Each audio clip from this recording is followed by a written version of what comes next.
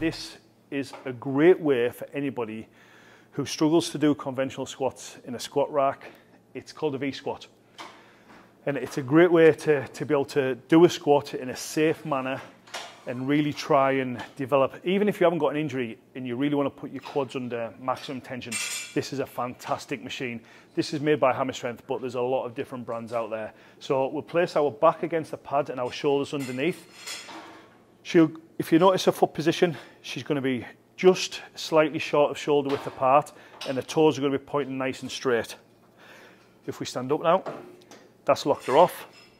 So what she's going to do now again, she's going to splay her knees out over, which allows her to open up at the hips.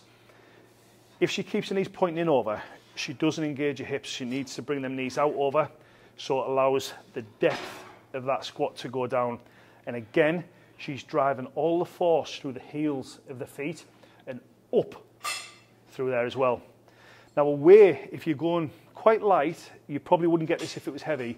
A way to treat, really try and emphasize these quads is when she's going at the top, so we'll do it on the next rep, so she'll go down.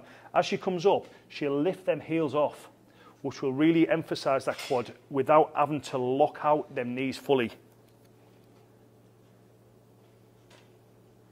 And it's just a matter of lifting them off and straight back down again.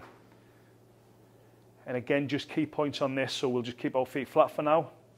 So key points on this, make sure our knees are coming slightly out over, which allows us to open up at the hips to take the depth of that squat, because if you don't, it's a really, really, really con, it's a really compact position.